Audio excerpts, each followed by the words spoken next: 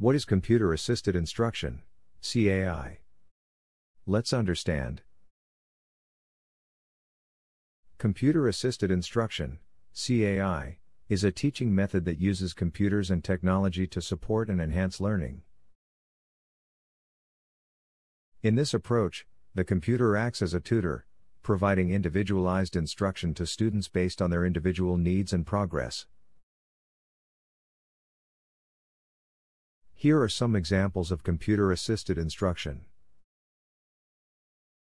Educational software Educational software programs are designed to help students learn and reinforce specific concepts or skills. For example, there are software programs that focus on teaching math, reading, or writing skills. Interactive whiteboards Interactive whiteboards are large screens that can display digital content and allow users to interact with the content using a touchscreen or a special pen. Teachers can use interactive whiteboards to deliver lessons, engage students in interactive activities, and provide feedback on student performance.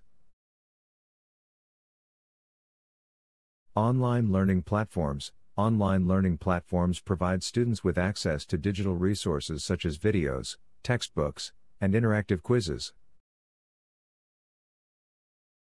These platforms can also provide students with the ability to interact with other students and teachers in real time through discussion forums, chat rooms, or video conferencing.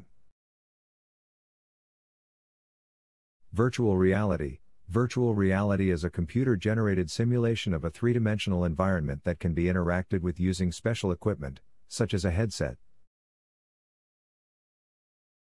Adaptive learning Adaptive learning uses computer algorithms to personalize instruction for each individual student.